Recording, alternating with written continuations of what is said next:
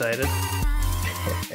so, well, first off, episode one was actually did a lot better than I thought. 66 downloads, Survived. quite a few views with the on on on the YouTube on the YouTube. and SoundCloud. I think maybe over 100 listens, Yeah. possibly around there. So that was good. So good, good amount. to our viewers tuning in now for episode two, thanks for that. That was a good To our viewers start. tuning in, that's not enough. Honestly, like, come on. you got to stay hungry, right? Yeah, you, That's you, the you can't lie down there. One hundred thousand, not enough. I will do it. So for this one, we got some actual structured topics, which would be nice. So we're gonna just jump right into it right now, keeping with our theme of this podcast. We're gonna share some personal stories about our first entrepreneurial experience. So why don't we dive into that? Whoever wants to go first, shan't we? You know what? I'm gonna go first. Yeah, dive in. Go, Peter. Let's hear it. Mine is hopefully more boring than you guys. I'm gonna go first, and then you guys can ramp up the intensity from here. Sounds Um, It can only go up. It can only go up. Uh, I used to teach piano, and I so I had a little business where I taught piano to other people, and then there were a bunch of other piano teachers who were also my age, and so we all taught piano together, and then we would throw like recitals together and that sort of stuff. Huh. And that is not a startup, but that's the closest thing I have And to you were that. making Well, bank. like, independent project. I mean, and, and obviously you made some money. Was there off some profit? It was it was nice, yeah. Collected. How much do you remember? Kind of how much you were making? Um, I believe it was like twenty five an hour. Nice. for, Oh, wow. for lessons yeah and then you get a few people coming every week that's a and how old were you? i i think i was in high school that was just all through Oh. high school Well, that's a good. That's still a good gig. I mean, oh yeah and you obviously you kind of make your own hours and stuff like that, right? yeah you decide everything you're your own boss which i guess has its downsides too Yeah, I You guess. stay committed and all that I feel like, um, s- if anything, though, it's still a lot better than most people's first jobs that they get out of high school, right? Working at, you know, fast food or restaurants or anything like that. yeah and even just the amount of hours you put into what you get out hmm that's true. That's true.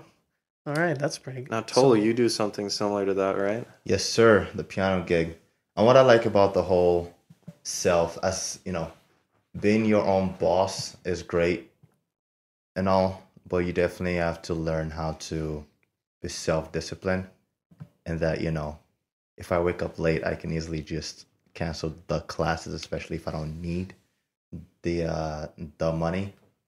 But you need to be self disciplined and, you know, respect the students and their time as much as you would like them to respect to respect yours. Because when i started out i know i had people who lived ridiculously far. Hmm that was just this past summer who would be there you know bussing the mom with two little kids being there on time and then i had people who lived literally right next to you know the place who would show up late like Oh. like an hour late I Wow. remember, You I mean the remember one- students? yeah the students i remember once lesson was for ele- was for for 10 a.m hmm I called and said, you know, where you guys, blah, blah, blah. They're like, oh, I apologize again. We'll be on our way. Waited it till 11. Didn't come. 11.30. I got pissed and I left. Well, yeah. And then uh-huh. they called me at 12. Being like, you know, we're here. We can't see you. Why aren't you here? And I was just like, like I, I, I, I couldn't even talk. I was just so mad. And in the same way, I expect people to respect my time. I also kind of had to learn to respect, to respect other p people's time. And that goes the opposite too. I, I knew I know slash knew quite a few piano teachers, Mhm. and there were some ones who were just not good. Like they'd have kids who can't wait to play music. They show up, they're unpacking their things, they've got like their guitar or their piano or whatever out, and the music teacher doesn't show. And you have to, if you're a parent, you have to explain to this kid, Yeah. hey, you got to put all that stuff back in. We're going home. Tommy's a little busy. Nothing's happening. Tommy's gone. Like Tommy's not coming. I'm I'm sorry.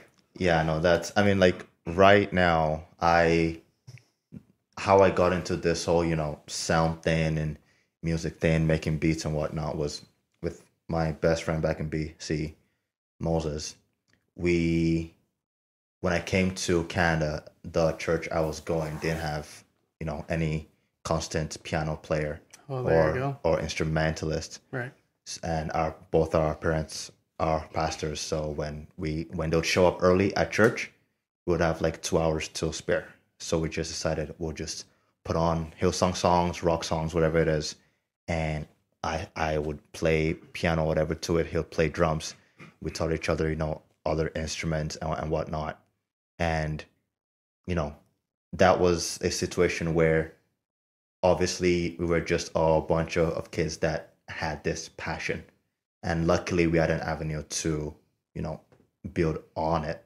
Hmm but in a situation i can't imagine where you know we're trying to improve on this we're trying to get better and they're adults that should know better who are discouraging that. And like peter said not respecting your time with us Mhm. now All right. So, what about you guys? Do you got it? You got any Starbucks? Do you have one? Um, I mean, it's not so much as like a like a experience. I'm using startup like very loosely. Yeah, this is a very we we're all here for you, Angus. Like, By the way, Alright, how old were you when you started doing piano? Just to get Uh, a when that was what came here 2007 so i'd say 11 oh, okay, so fairly young. 11 was kind of when myself and Moses started, you know, playing around on the You instruments acquired and those stuff. magical fingers. You well, it took time. Solo but always yeah. had the fingers. so You just couldn't use them yet. took a lot of humbling, you know, but yeah, around that time. Awesome. All right, Angus, let's hear it. Well, uh, I don't really know. Um, last last summer, actually, I was working for the government for uh, doing bees, bee work. I was a bee technologist. work. Yeah, I don't, it's busy bees. You know, uh, it's kind of a double edged sword, I would say. You, uh, there was the times of getting stung in your face. Tell us about those God times, damn. Angus. there was a tally board, and um, How many times did you get stung? uh, I think around like twenty eight by Oh. the end. But I mean, some some of the some of the people working there, they they were in like 80, 90 stings, Mm. and like apparently just each one is different every single time. So like, And how do you get to that point in life where you can distinguish between every bee sting you get? Like each one has a personality. No, no bueno, no bueno at all. Every just- single one's different, eh? How- How to just pull the total. Yeah, just take off the suit and just let them have at or her. just run. Well, after Oh, they man. sting, the it, when the first one sting stings you, it releases some pheromones. Just that, just like tell, like it's just like a basically a big marker on your back saying I'm right here. Oh, and they all just No. come at you full force, and it's you got to run. so See, like, don't you have the protection on though? You have like Those a are chain uh, mail. you're supposed to wear so, like- white colors apparently because they don't like black, and um, I figured that out real quick. They don't like black colors. uh, I don't know why. Why that like, is, but They um, just find it aggressive. Maybe because Yeah. black bears, because black bears eat honey. Maybe that's kind of an instinct. uh, And bees are could be could that could be completely wrong. You might want to environmental- look I'll that look up. into that right now. Yeah. Yeah. Yeah, But I have yeah. no idea. Anyways, so back to the business side of this. Um, there was a technologist technology department, and they were they kind of run um, all the data and stuff for that for the government, uh, the government, and the bees and the plants and etc. But um, one of the guys found out that I was in computer science, and he wanted me to help him with his like job work, and um, he needed to like pull out some uh, data from a PDF file onto a Excel spreadsheet, and he wanted to know if like we could like if I could program something that could do that for him, and like I said, like, yeah, like sure, like uh, give me like a weekend or something, and I um. I got actually scared because I didn't want him to put his name on it, so I coded it like in jargon, like with like pizza and ice cream as like variables, and like just to make it safe that like he had no idea what the hell was going on in my code. So, but uh, he never actually uh, took it though. But that was like my first entrepreneurial entrepreneurial ex- There you go. experience. Nice. All right, we got Nice. one more. I didn't know you did that. The uh, I thought they just asked you about that bee app. Oh no, they did a bee app, and I was kind of interested in that because it Oh. apparently didn't go well. But Oh, really? Oh, that's right. They wanted you to maybe. see, I wonder what was wrong. they I guess apparently just uh, it happens a lot. They put in a lot of money for this amazing app, and then the um, you don't communicate well with the programmers, and you don't Right. really understand that you have to tell them specifically what you want, or you could get a like bad product, basically. I feel like that's. I mean, we learn a lot about like a lot of communication between you and your client when developing, and for sure that's not their fault at all. If anything, that's the fault of, the, client. developer of the developer not because they're we're taught to make sure you ask every single question so you don't assume anything. Yeah, but that at the end of the day, like if they're not if they're not coming to you, like it's their problem, you know. aren't you aren't developers developers supposed to go to them though? Uh, some some software practices like teach that, but I don't know if the one that they Oh, had.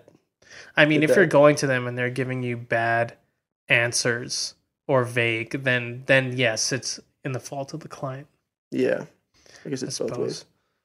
All right, so entrepreneurship. Mine, mine was I think I was grade four or five, and I was doing a book report on um, I think it was Lord of the Rings: Return of the King. So In grade four. yeah, or four or five, He's what a nerd. like ab- on. absolutely. All right. I think it was uh yeah, like late it wasn't shit. quite grade 6. I think it was grade I want to say maybe it was 4 or 5 somewhere in there. Anyway.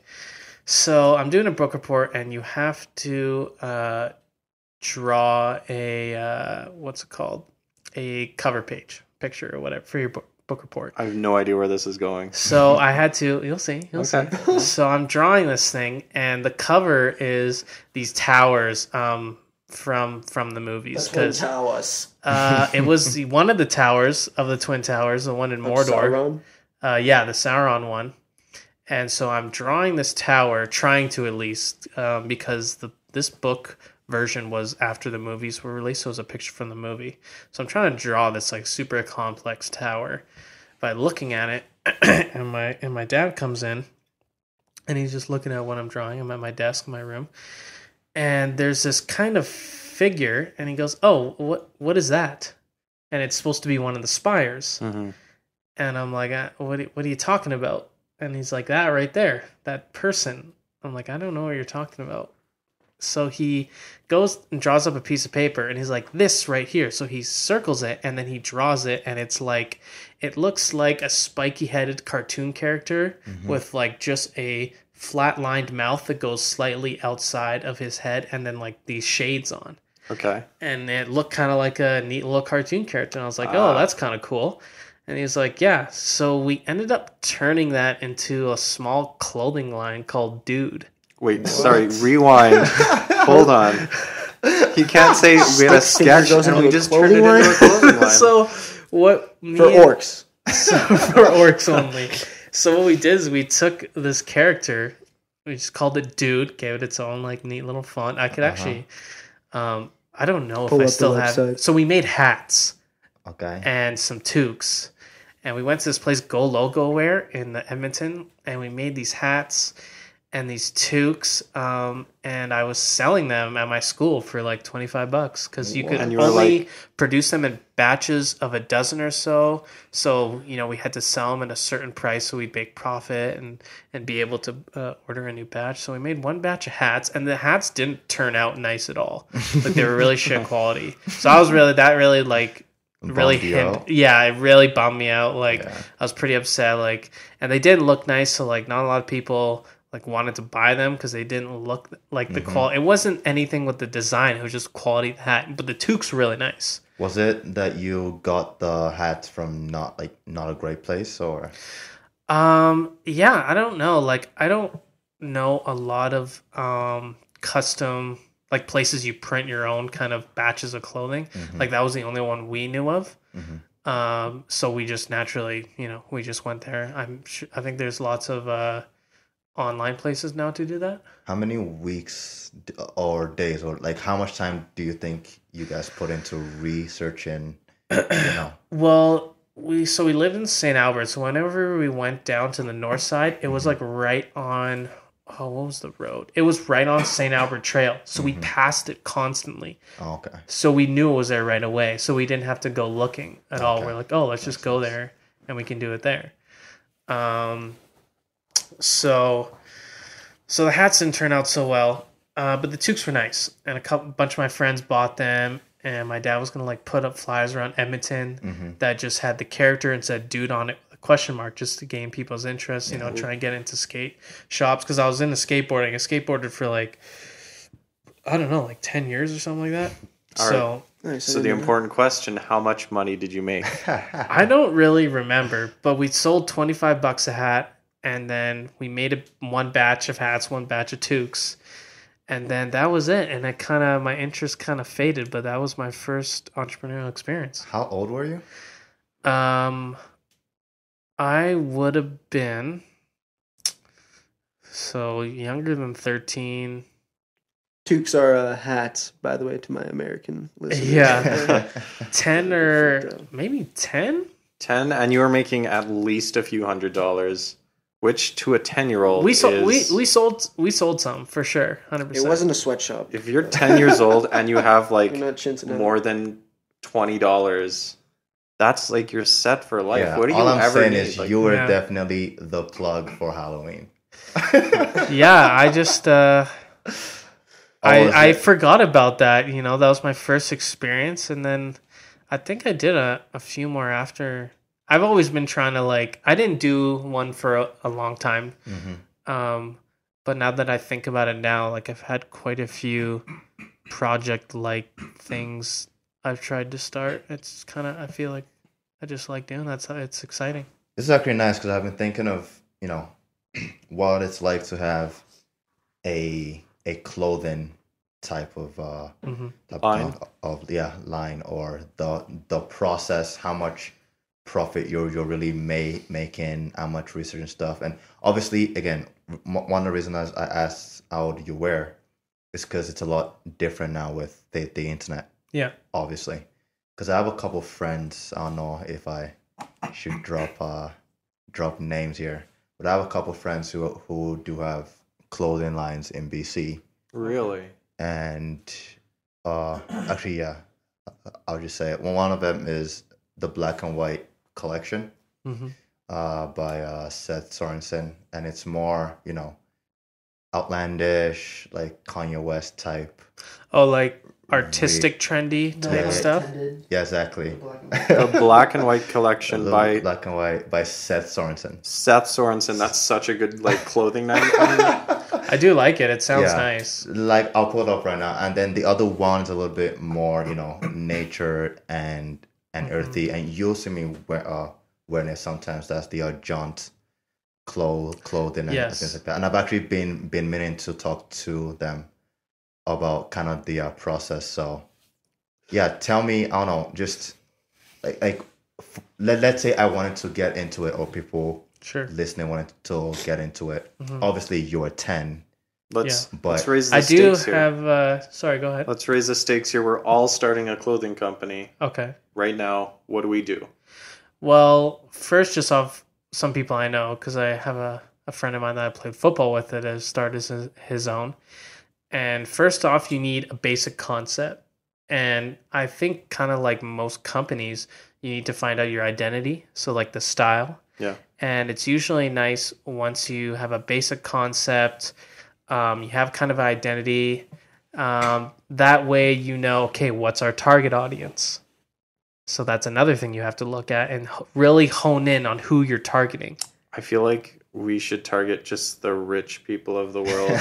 or like people Instagramming like piles of money. That sort of. Yeah. Well, then I mean they expect a certain amount of quality. yeah. Do they?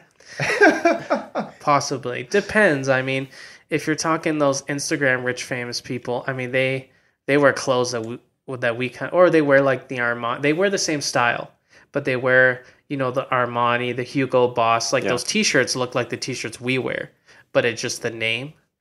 Um, yeah, kind of like you're kind of pulling. Up, oh, this is the black and white collection. that Yeah, you're the- about? Oh, they have a little store. Black That's and white. the the BW collection. I like that.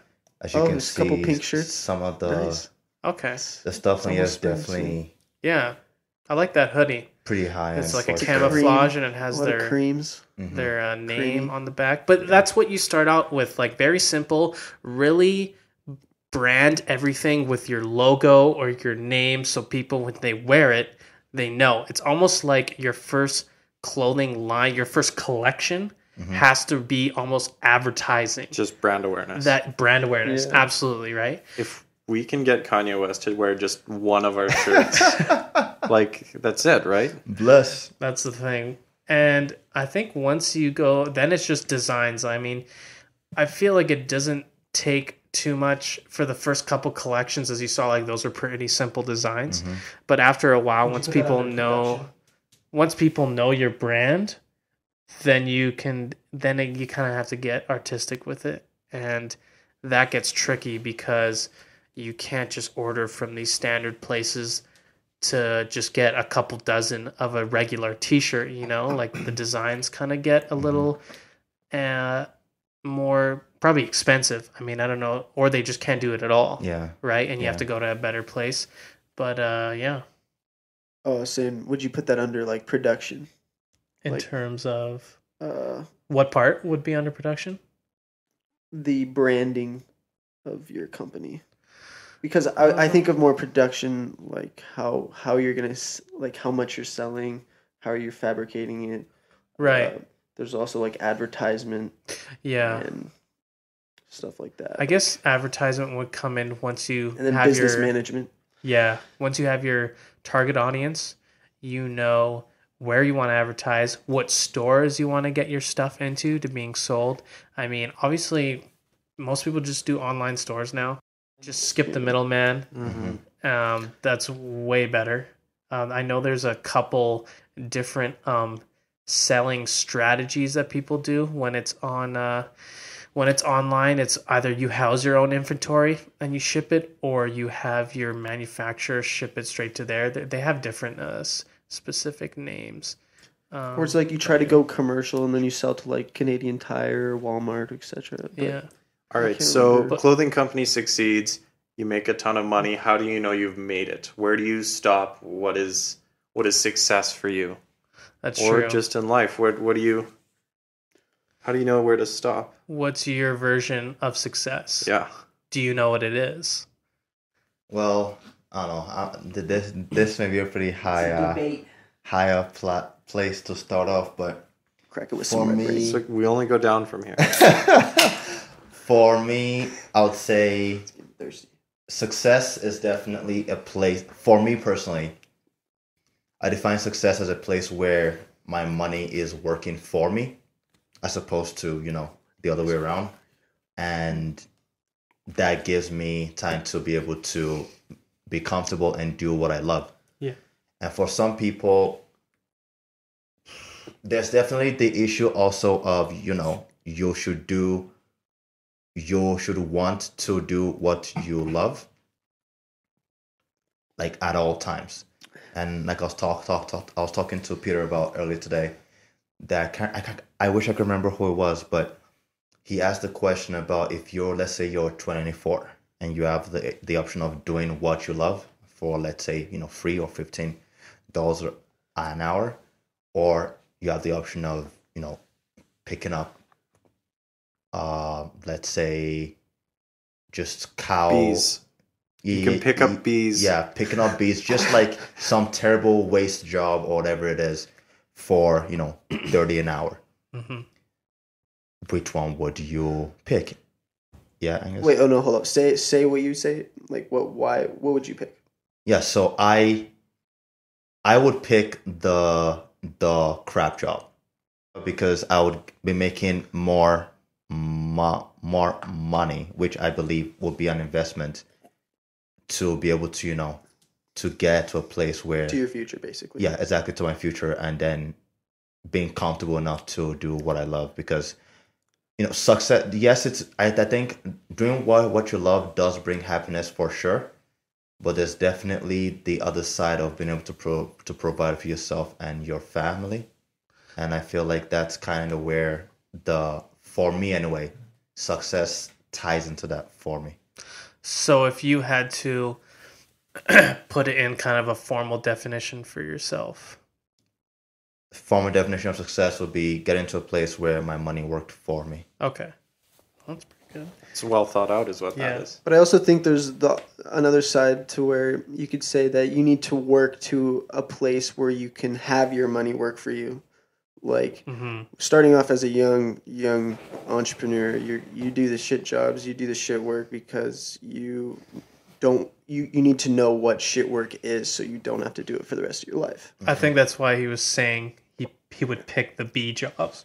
Yeah, Right. The, the, But not like forever. I would say you do that because you need money for school or Yes, whatever exactly. say you. Mhm. But um, yeah, I believe that when when I can graduate college and be on my way and find a job, it might not make me uh, happy. Like uh, people always say that you want to. Uh, the best job would be a job where you never had to work a day in your life Yeah. and I, I feel like there are professions out there for people like that but there are also professions that you go to school for you you become great at because you put hard work in and you receive a reward that lets you live life happy Yeah. at the end of the day you know Absolutely. That's true. It's beautiful. Yeah. So you what would your formal definition of success be for you? Formal, I would- mathematically well after getting to a point of where i could achieve success- success because i would say that i'm not there i can't achieve success in, on a greater level right now but Yeah. i'm on my way De- the definition would be to have a have an outlet have a reward from the job that you get later down in life that, that you, makes you happy Nice. Very nice. I think I would say for sure you want to be doing something like you guys all make good points. You want to be doing something that makes you happy, that you can do every day, that almost necessarily doesn't feel like a job, um, which is all very, very valid. Um, and I would agree with that. And I think that a proper career choice or career field for yourself, especially kind of aligning with what you take in university. You know, if you pick the right subject or degree, let's just say, you don't even also have to go to university but yeah, but uh, I'm just trying to like relate it to that just because that's where we are. yeah I mean, naturally, you know, we're in computer science. When I graduate, hopefully I get a job in computer science. So naturally, I'm already going to be pretty happy doing something that I'm interested in, yeah whatever it is.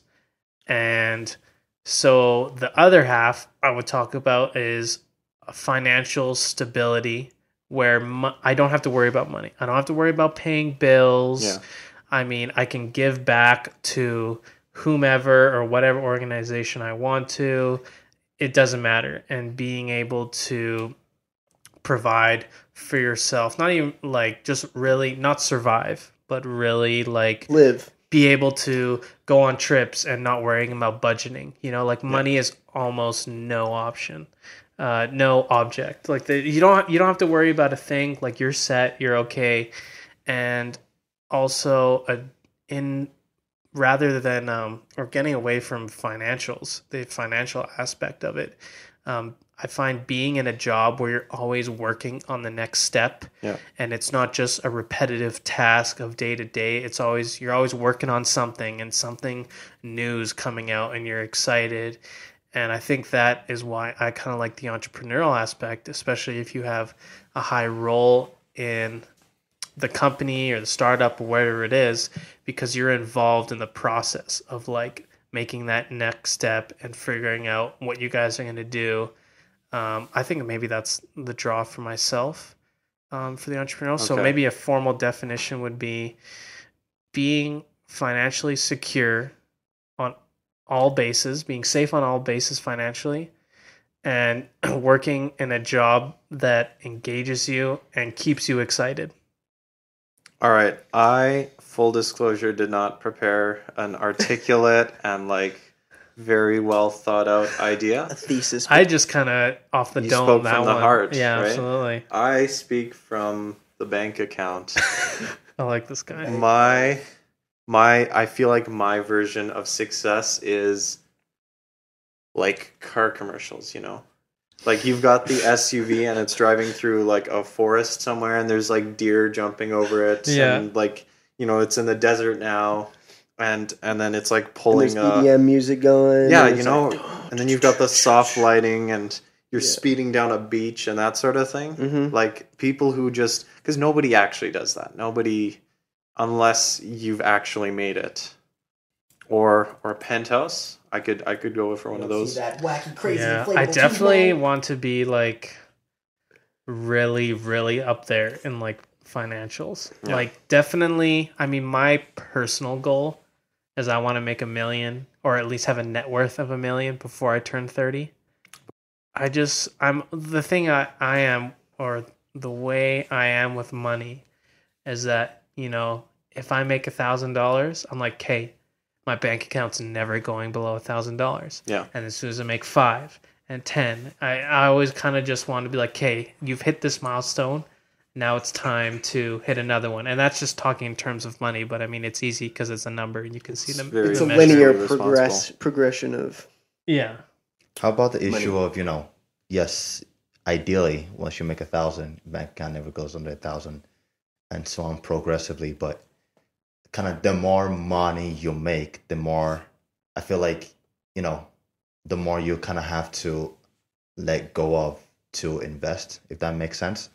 Where Yeah, that's true. you're investing a hundred to make a thousand, you're not gonna invest a hundred to make another thousand. You're gonna have to invest, you know, but you don't have to. Unless but you're a good you would- gambler. you would like you gotta to. spend money to make money Exactly. can gamble. Well, that's the thing, and that perspective is coming from someone who's never had to invest anything.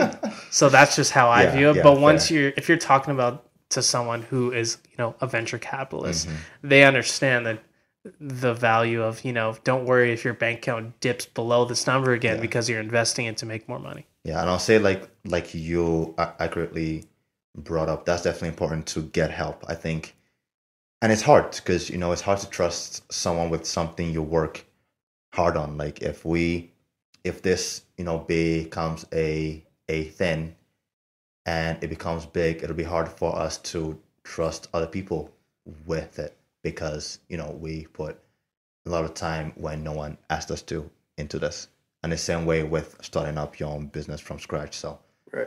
this being the This B being the- clothing company we're all starting together this Oh week yeah, we're and and or the podcast too, you know. Either or. coming soon. Some crazy news. yeah. hey but, that's a t-shirt idea that's some like revenue for us b shirt well, let's not say it on the air. So oh oh why not all right i want you to open jacked. The startupspodcast.com slash shop and you're gonna see five t-shirts on there each a different color each a different b I feel like we definitely already have some nice insiders or concepts that we can go off if Yeah, we wanted to start Nice merchandise. I mean, our hosted uh, website, podcast.com, does Mm-hmm. have a merchandise sales analysis track, so they must have some kind of functionality Yeah. to incorporate in there. It is so important to stay connected. Like hmm even with this, for example, you know, I feel like between just the the four of us, we know people who you know make apps like us ourselves, have clothing lines, have made startups, have done this and this and that, and Yeah. I find it's hard to go through life being a lone wolf. Connections and networking is definitely a big part of kind of making it out into the real world.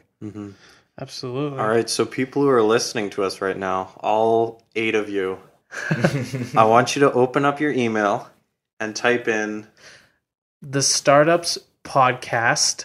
at gmail.com At and I want you to tell us whose version of success was better.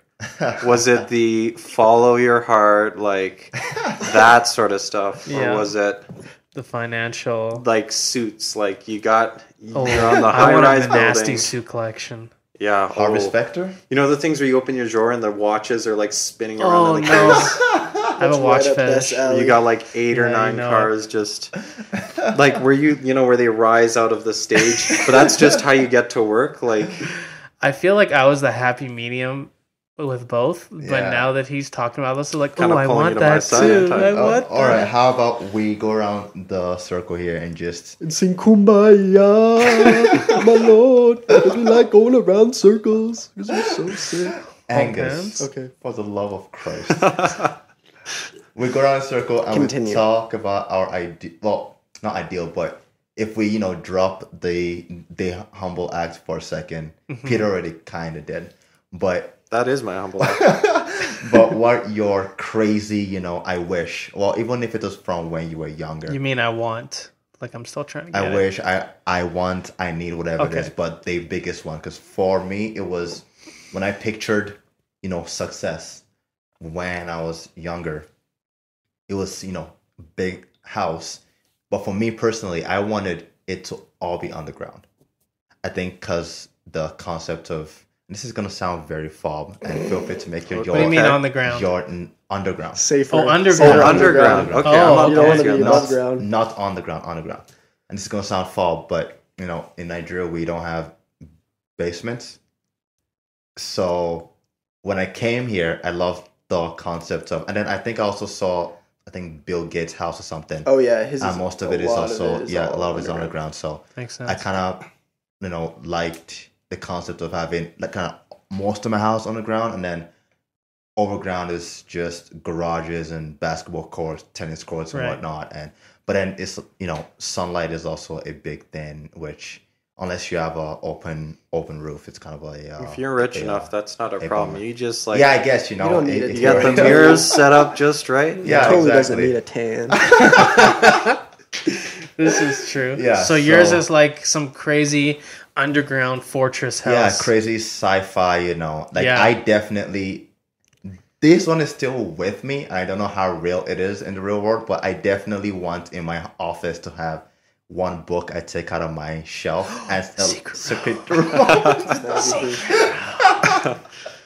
He's giving me so many ideas. Yeah, no, Tolu just made me drop every single thing I had, and now I'm thinking like bomb shelters. I'm thinking like a little panic room off to the side, like a small palace, but it's just all like waterfalls, and yeah, yeah, yeah, definitely, I don't know where that last one came. definitely. Angus, what's your crazy? Angus. Man, let's not go around the circle. Let's hit the diagonal over to best or I'll hit it. I have no Alright. idea. So for me, it wasn't the house because I've seen people just have way too much house to themselves, and I only really want at least, at the very most, three kids max. So I'm trying to buy a house that's big enough for me, a wife, three kids, and that's it. And your roommate Peter. Yes, and uh, but also roomy, like spacious, right? Mhm. Um, I mean, like this house that we're in right now, like this would be good, big enough for three for three people, minus the indoor oh, pool. Yes, it 'Cause would. that- What do we- Because that's an indoor pool in his house. because that's too. Because I feel like I wouldn't like your we wouldn't use. I'd rather take out that that pool and put like a complete indoor gym in there. Like that'd What be about- my idea. But this size house, in the gym. But not too big. like, I'd like it's to point big. out that I there's could put- already an indoor gym in this house. I could put Oh, my yeah. house in this house. I forgot. Okay, we'll take the pool out and put a squash court. I'd be down with that. All right, all right, that's acceptable. Still, but not like the thing is, you look at this house, you're like, hey, it's big. But I'm talking like the people, like tech executives, and you look mm-hmm. at their houses, they make this look like a hut. Oh, You yeah. know? like something that's nice and big, but not like outlandish. Yeah, yeah. So, so for me, it's not the house. It's not really the cars. I just want one car for myself, maybe one car for the spouse, and then like a fan, like a nice SUV. Um, I think for me, it's all about like the wardrobe and the small perks of having money. Mm. I wear only super nice suits. I got that nice rotating watch case that comes out Yeah, yeah. And Psycho. I do not fly coach or first class, only private charter. that's what that's what I want. I want that kind of money where like I don't have to deal with the general public. I can just pay my like the special treatments, you know. See, I should have gone first because I'm constantly changing them up.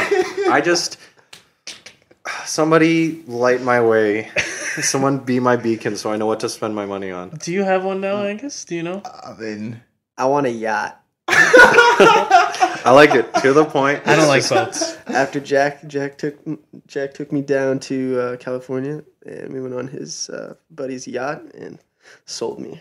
Gotta have Yeah. a yacht. Really? Can I come on your yacht? Can we hang out? Yeah, dude, we can hang out. Awesome. Record a There's podcast on that yacht. clubs on oh, Coast. Ooh, absolutely. good. Coming to you episode. live from the international waters. Airwaves Ooh. on the waterwaves. We gotta stay in the whole time though, because I can't swim, so I won't be messing around on the docks and stuff. I don't. uh Yeah, I don't like boats. I don't like the water. so, Rock the boat. but I mean, you You know, two, your two jacks to float. I I can swim. You can bob. Yeah. It's not very confident about the- your. It's uh, it's. I'm trying to formulate why. It's because I don't like. I, I have a fear of the ocean because I don't like how I can't see what's in it. Oh, It's scary. It just freaks me out. yeah, it's the whole It's lot- like I don't know lot what's down there. talk about infinity, talk about things you don't know. Yeah, I just Yeah. like I don't I don't mess with water. Craziness. There's things we're just we're not meant to be in there. Mm-hmm. I've I've definitely never had that fear before. I I don't understand it, Yeah. but I haven't been on a yacht either, so maybe I'm I'm lacking in perspective. I think I would enjoy a yacht just because cause it's so big, right? I'm assuming. Yeah, at least different- forty-two feet. Yeah, so since, since it's so big, like I'm. What is that? I've also been on some like two-masted sailboats, and those are pretty sweet as Oh, well. Yeah, But uh, like I'm pretty confident in not, you know, tipping over. When the on, the one thing, because I remember back in grade seven, we went canoeing and kayaking, and I surprisingly loved kayaking, even though you're really close to the water. Yeah. but but it seemed like, like I had more control in the kayak than the canoe.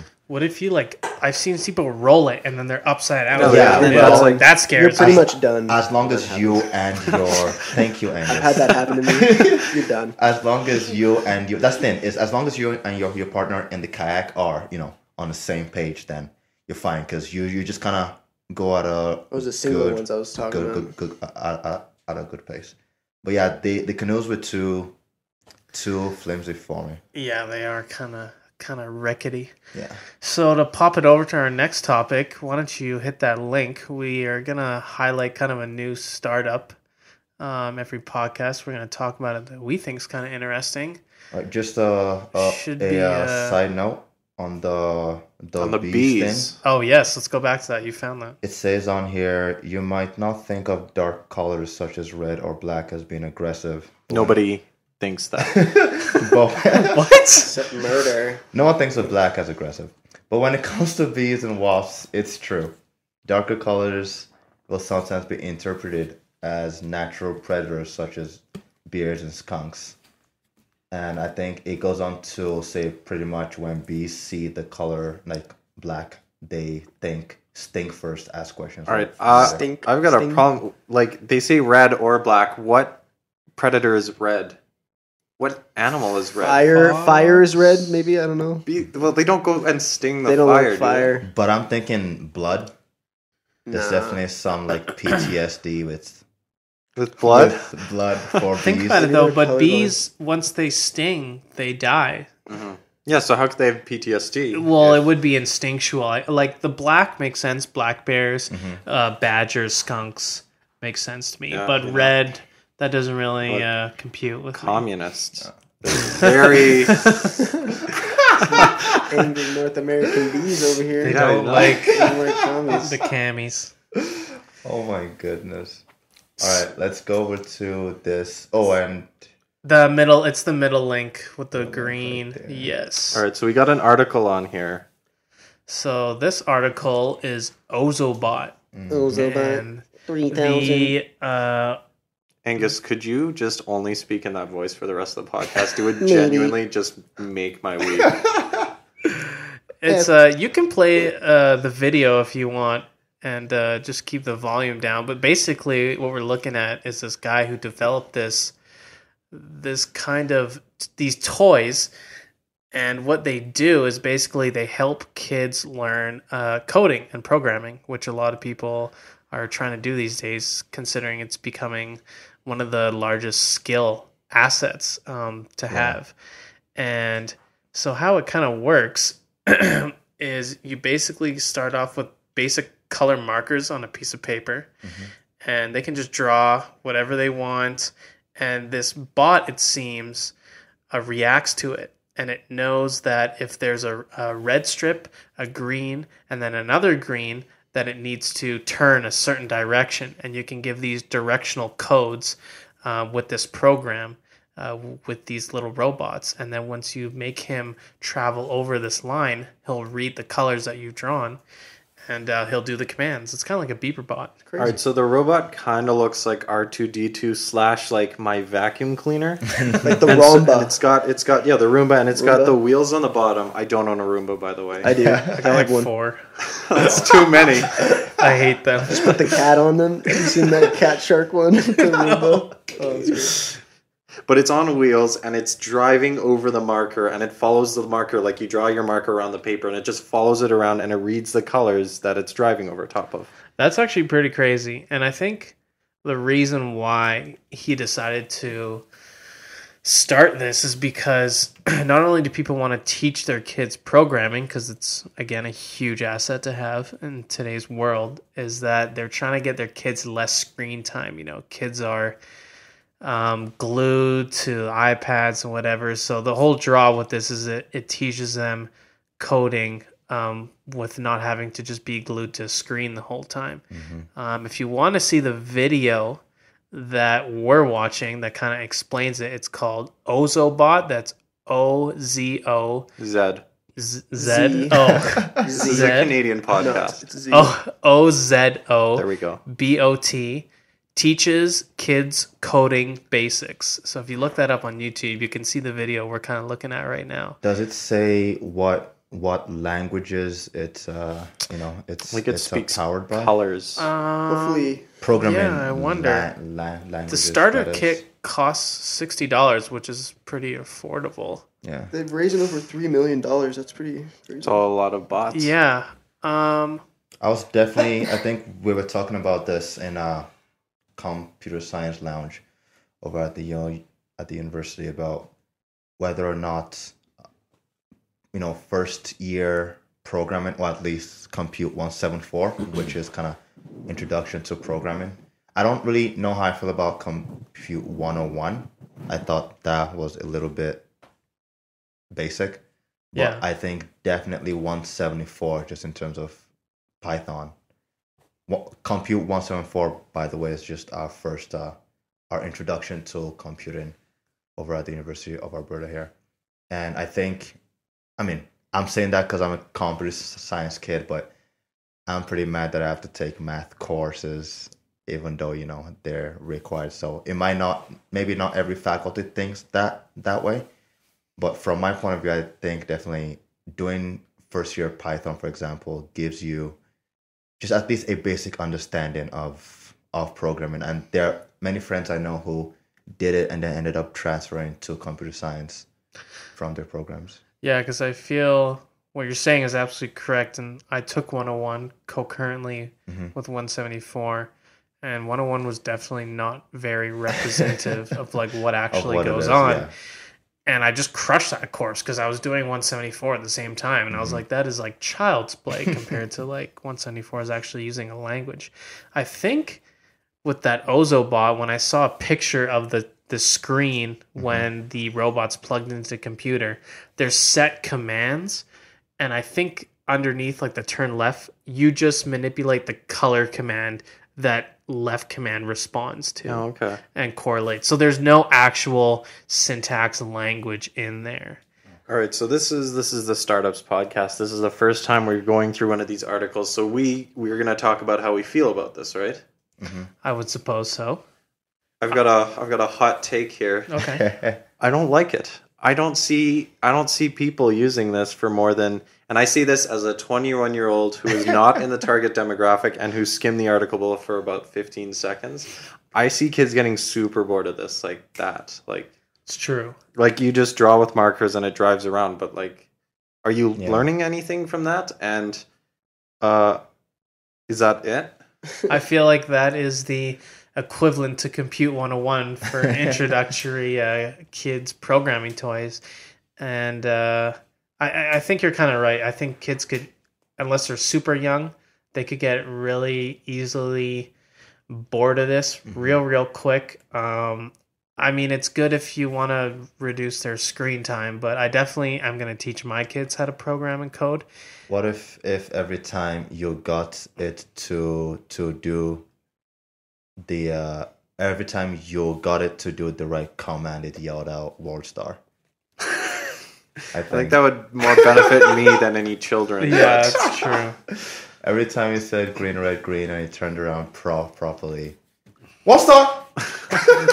Or the parent gives their child a nice reward for doing a certain set Like- of commands. Like what? What kind of rewards? well, I'm gonna I- put you on the spot. Oh, Defend your point. ice cream or something, you know, food. Now, would the ice cream not Trip to the negate the, like healthiness of choosing to do a robot instead of a? Yeah, that's true. What if We you don't could pull any download punches here. soundboards and play like different movie character soundboards to the robot? All right, now I think we got our own idea going here. Screw that. Like, let's let's roll with this. To be fair too, we don't want, you know, in the next twenty years just a bunch of computer science kids because first of all that'll be hard for classes to get into and secondly, you know, Less if jobs all for the us. people that were supposed to be doctors become computer scientists. I need someone who's going to the show. That's for sure. I don't know. I think I think everyone needs some sort of grasp of computing. the, yeah, the knowledge. You can't Definitely. you can't um You guys use it way too much for you not to like wonder how your internet works. well that's the thing because i like to know how things work i Mhm. take apart my computer like i like to tinker Mhm. and this is just like another level of that in the software level like how do websites work like how does this How does all Facebook work? Like that that would get everyone going if they saw a little thing that says oh god i'm pretty how sure the source works." code for facebook would just blow your goddamn mind well, yeah, I think there's database behind the scenes, Oh, SQL, God. all that cra- all the queries Yeah, maybe not that deep. Like I said, the Twitter, basic concept of you know assigning you know two to X and then saying X does this, and Yeah. the way they structured one seven four was they made you do some something like you know go through a list and you have to do it manually with a bunch of if statements, like five of them. Yeah And then at the middle of the course, they taught you for loops and while loops, and then you realize this is way easier. yeah And in kind of them walk, walking you through, hey, do do this. Now we'll teach you an easier way to do it, which is annoying at the moment. But I think that concept, when you go on to any field, I feel like that's a good, that's a good, uh, a good le- lesson that's pretty applicable to to Yeah. any field is the concept of you know, they know got to give you the tools you got to do the mistakes first to Yeah, learn why and they're how to to options. make you know the computer work for you, even if it's with you know being being a doctor or nurse with databases and patients and all that yeah craziness. I think there's just so much like technology around us. It's crazy. We're not like n- more people aren't like wondering about this sort of stuff. Mm-hmm. You know yeah what I mean? Like your car gets software updates and stuff now. Oh, yeah. Yeah. And your like headphones get updates. That and is scary. The you can uh, you can plug your car thing. laptop in your car hmm and you can change its settings in the program so it r- it can run on ethanol what? very very easily. really. Yeah, and it's just things like like like you made a really good point. I don't understand when people say, "Hey, um, why?" Uh, like I don't get computers. Like I don't know. I just use it. Whatever. Like you're not you, you're not curious at all. Like what goes on. Like when you drive a car, you have to know a little bit of how The it works, works, yeah. how it functions. Shouldn't the same be with your phone and with your laptop, with your TV, with your internet? Like the more knowledgeable you are about, you know, things you use, then the more um I guess not independent, but you kind of you be more self-reliant. Yeah, Self-aware too, I think. Yeah, Yeah. That that- you're aware of like what you're like consuming basically, like Mhm. all this technology in your face and you know what's actually out there is And I'll say, I mean, you know, just to to, to kind of wrap her up with the with this is obviously this can be said a- about any other field too. So, number one being, you know, definitely more people, more younger kids should be encouraged to go t- towards that just because of our bias, first and foremost, and uh, and because the world is heading towards that direction. And secondly, not saying everyone should be computer science people, and not everyone's gonna have the knowledge of that, but it is definitely going to be something that enough of us are gonna have to know, so that people who are doing other just as important jobs and probably a lot more important jobs than us little guys all over here are able to to rely on us for that kind kind of uh for that kind of insight and uh and information. So to pull it back to our first topic for a sec, if you have a first entrepreneurial experience, why don't you send us an email and tell us about it at the pod the startups podcast at gmail.com. That's uh plural startups. The startups singular on podcast. Yeah. And why don't we go to our next link here? This is a five lessons learned from my million dollar startup. And this comes from, I want to get his name right, George Arison, A R I S O N. who made Taxi Magic, now known as Curb, which was Uber way before Uber and Lyft. And how he kind of talks about his experience having that come up before even the internet was like a huge thing. Mm-hmm. And he kind of pinpoints five things that I think you should ask yourself um, before you embark on a startup. So if you just want to take a full, I think it was take a full stack approach, or you keep going down here. Oh, no. Is that the first one? I think that's the first uh, point.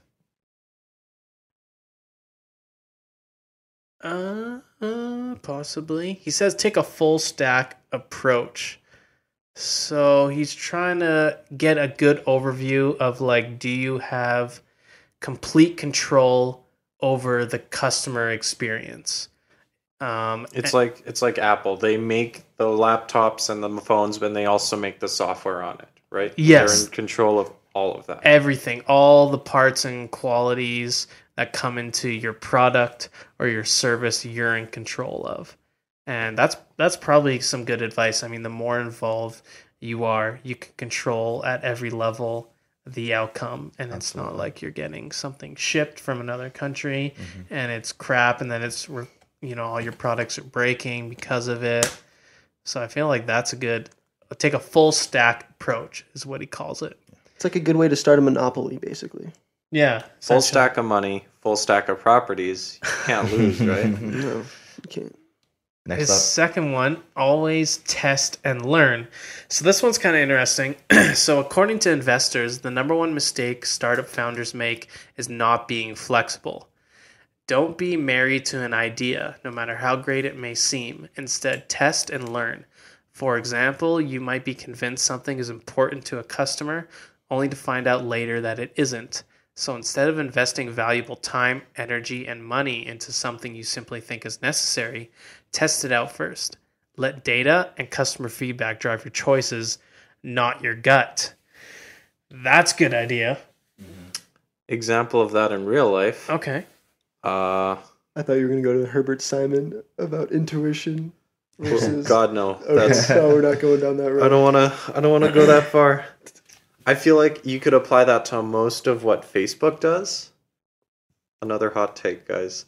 Like they're they're adding sound to their videos now. Like the videos already autoplay, Yes. but when you're scrolling through, I guess we're kind of dating ourselves here. But the sound, as of right now, this is a new thing. The sound just plays out loud, and I don't know anybody who would be in favor of that. No, I No, it's don't almost. want to hear that. It's just for advertisement. I think Yeah, like they they're. do it because they can. I guess they're big enough that they can just do that, and that's that's. They can take fine. away the headphone jack. And, and not yeah, and wireless, and oh, you need Actually, an there was a lot of adapter for this and that, and all our phones run uh, run off this new sixty-four People- Lightning. People like- still get it though, and I like the idea of. mind. And they I mean, rock it too. come to think of it, the whole I was I saw this this picture today about when it was that all these different phones, you know, Nokia's, Ericsson's, all those old school phones, Sony's had di- different uh, charging ports. And when they said, you know, let's make everything be able to be charged on USB, which, you know, most people just refer to now as the Android charger as opposed to the lightning thing. And I, I, I can appreciate what Apple is trying to do with their everything one port thing, but it's it's But then you gotta yeah, you gotta buy a hundred dollar to What do you adapter to one? put What do you mean one port? on those new micro uh, MacBook Airs. They have like one Everything. Lightning port, and like It's if you need a USB, you have to buy an extension that are like a hundred dollars just to plug into that Lightning port to give you another HDMI port, another USB. It's so why do you say you appreciate what they're doing? Well, like because back then when they were um, like, if you look at all Android phones, they charge with the same cable, right? It's the same plug-in. You, uh, once you have one Android phone charger, you can charge any Android and phone. your beats and your you know yeah, it's all very else. convenient. It's just very painful as you switch over into yes that, right? and with apple the difference with them is instead of it's not like everyone is switching to the apple chargers is they're making it very and i think uh peter got the new uh beats I have some fancy wireless Beats for my iPhone Seven. what are they called They're called Beats X and you charge them with the with the Lightning cable. yeah, with lightning Yeah, cable. iPhone. And- Oh shit! so what i'm saying is it's the same idea except they're kind of trying to it is more constricted to just apple and i can appreciate the It- how how easy it is if you are fully invested in in apple But Doesn't- iTunes is it's fully not the same. in You have to buy it. It doesn't come with all the products. sorry Does it not? Like you have to buy the adapter. It doesn't come with all the products. It no no no the i'm saying the like if you want to go from the lightning port to a different adapter yes you have to charge it but i'm saying if all you use is everything that's lightning port it is very convenient for you You just have this one. You just have this one thing Thing. that charges both your phone and your Laptop, your your headphones. earphones, your everything. So in that sense, I can appreciate the but also then I mean, on another note, look at like look at their laptops. Like how much functionality do they really have anymore? Like one a couple USBs, some of them don't even have HDMI. I mean, they're sacrificing functionality for what? Slimness? I mean, it's design. Well, they're hoping that everybody else, I think, is going to catch on and also only use that one type of port and skip it because HDMI cables they're big, they're bulky, yeah.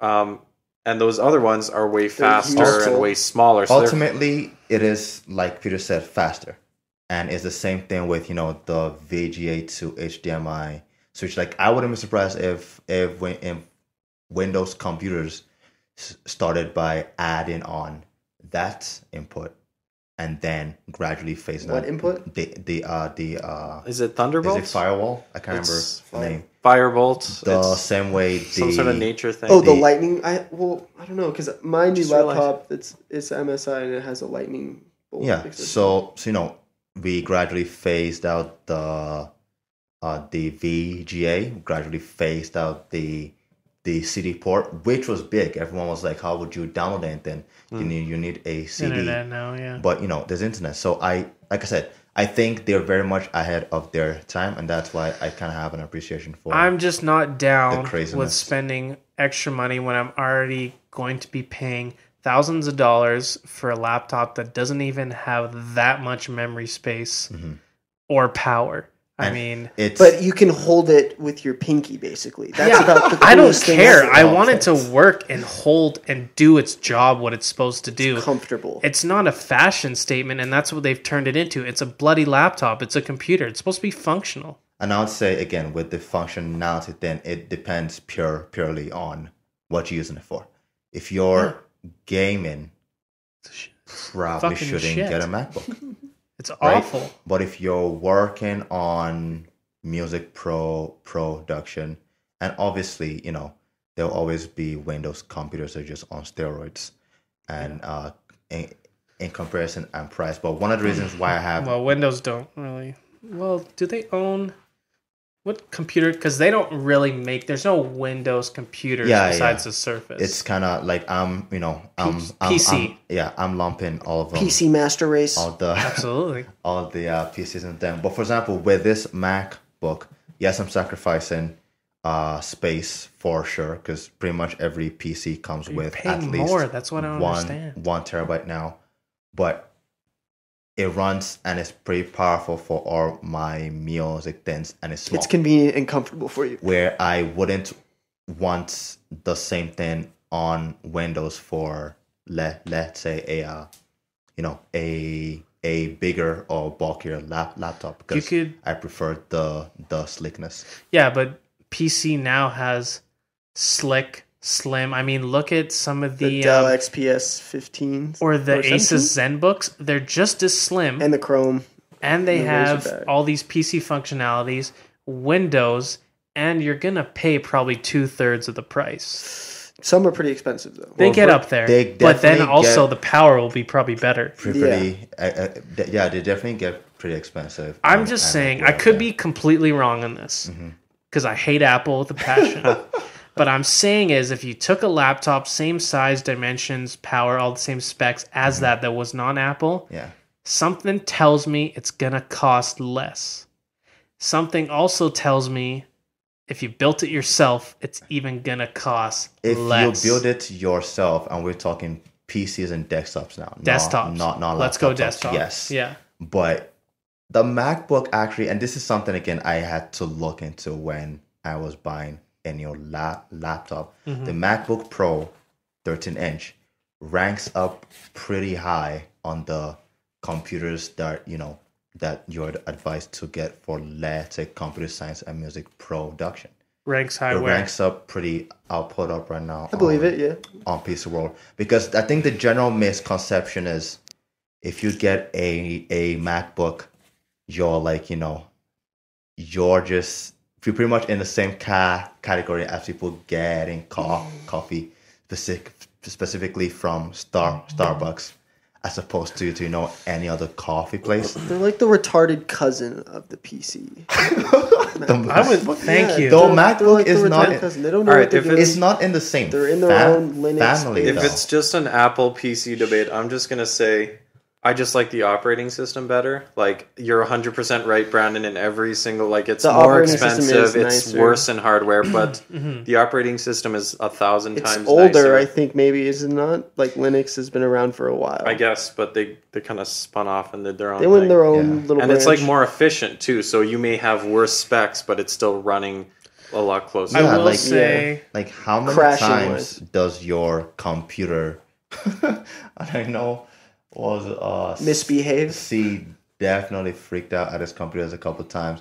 But with the whole Windows up update and the randomness of yeah, this the automatic and like there have are just to do so many updates, things that are okay. Personally, for me anyway, I got a MacBook because ma- mainly because of music. Music. Not that there are other sauce, so, not that there there aren't other softwares out there, but I prefer Logic Pro X. right.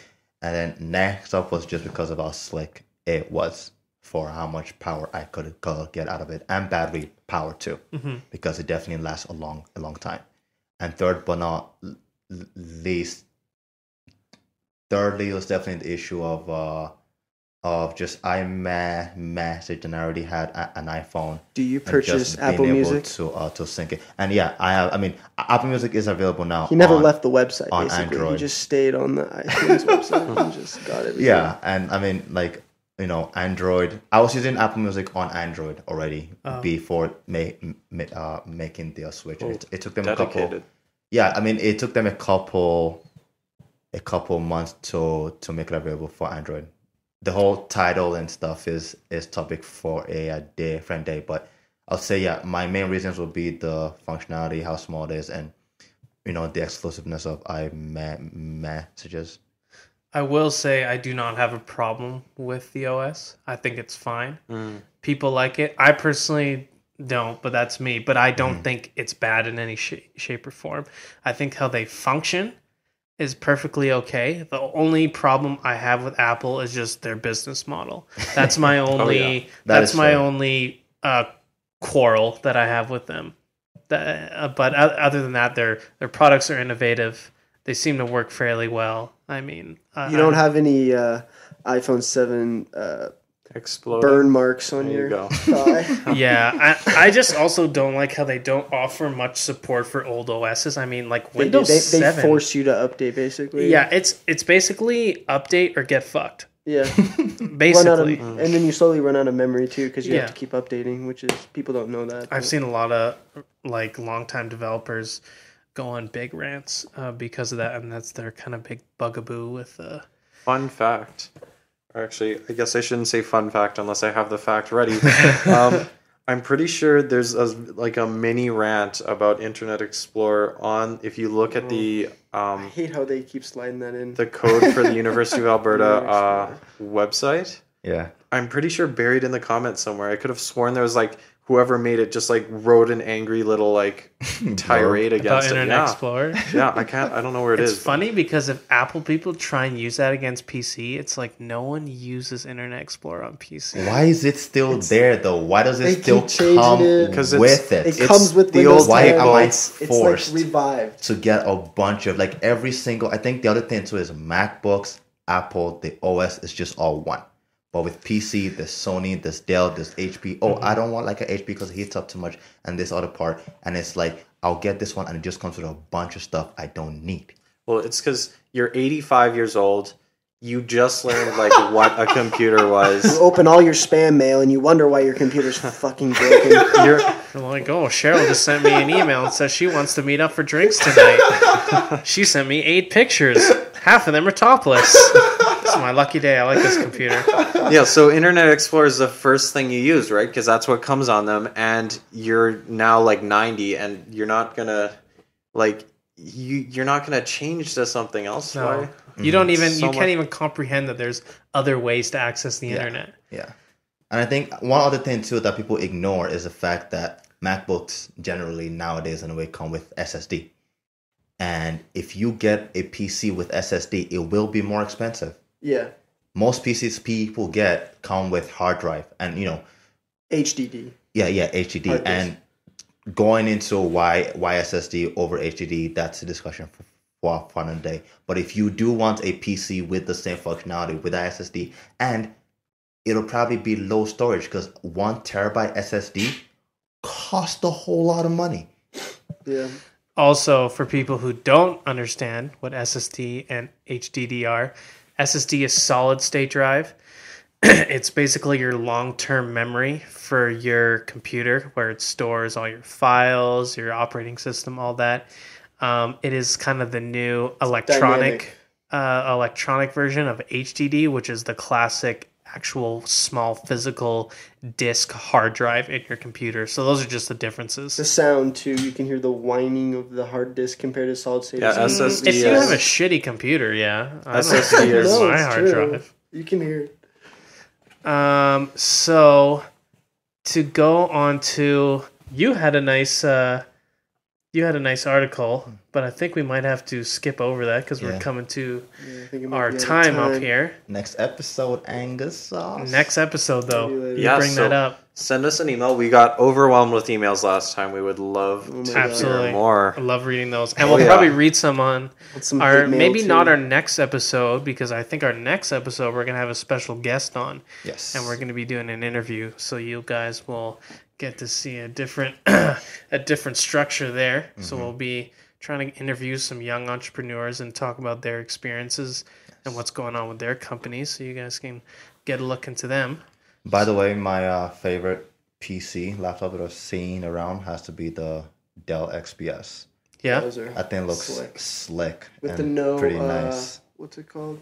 Buffer. like, Yeah, around the edge of Exactly around the edge of the screen. Yeah, Yeah. just It's like uh, zero.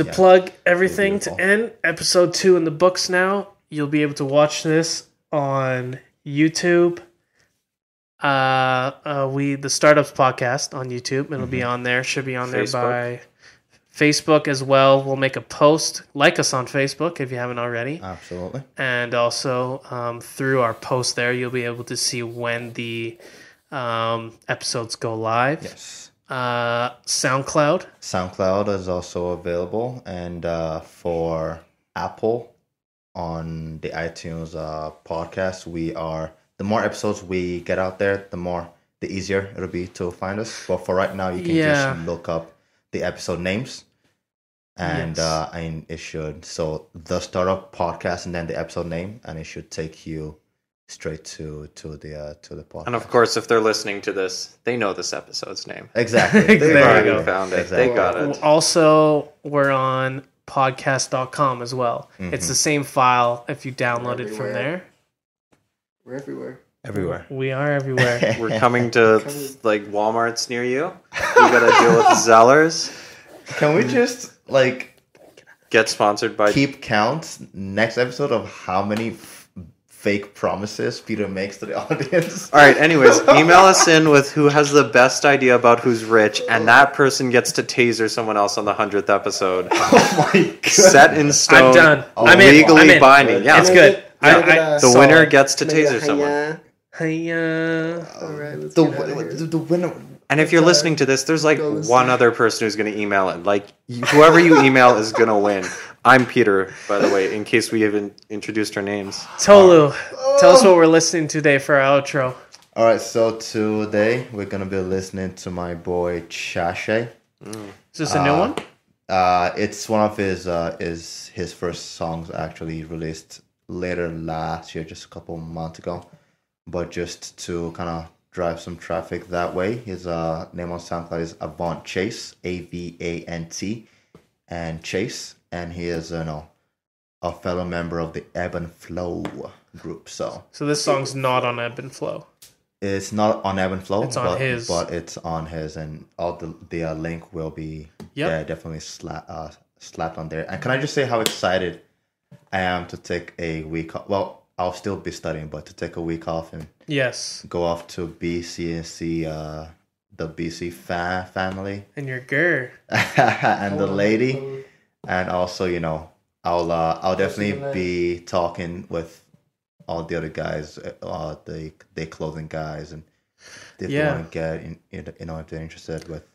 Ads and whatnot. Ads These are some yeah. top secret business plans, guys. We're still live. if you guys are interested in Yeah, advertising honestly- with us or want to come do an interview, you have Yes. a your own company. Um, I'm just thinking of people I know now that we can get on Yeah. here.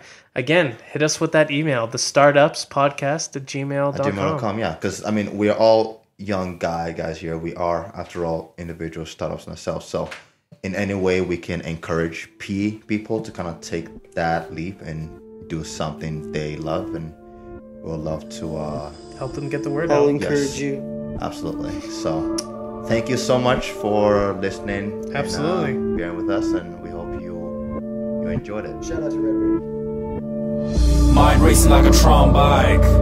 I'm out of my mind. These four walls can't contain me. About to break heaven's fifth wall. This rush of bliss got me a whole new perspective. Got me in motion and active. Got my tattered angels dancing. And my demons fleeing. Down the rabbit hole I go. I'm out of my mind. I'm out of my mind. These four walls can't contain me. But I break heaven's fifth wall. This rush of bliss got me a whole new perspective. Absolution from my sins, resolution from my woes, temporary constructs, instructing my visions, erasing my omissions, on a quest for a dragon that I'll never catch. Down the rabbit hole I go, world so brassy, still feeling jazzy. Nobody ever told me I could die from bliss. Still on the first hit, sitting on dreams. Never say bye, so I'll stay high.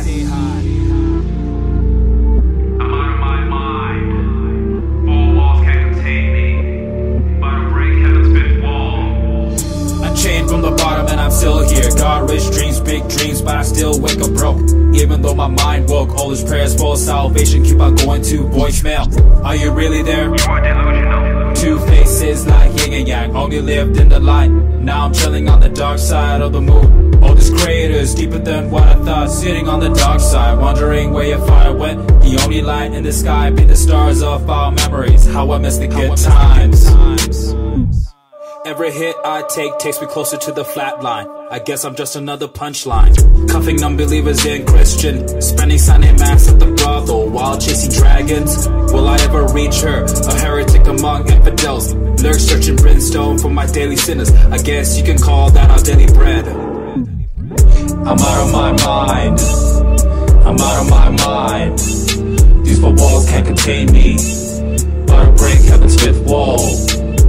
Living in bliss. Got me a whole new perspective. Got me emotion and active. Got my title angels dancing. And my demons fleeing.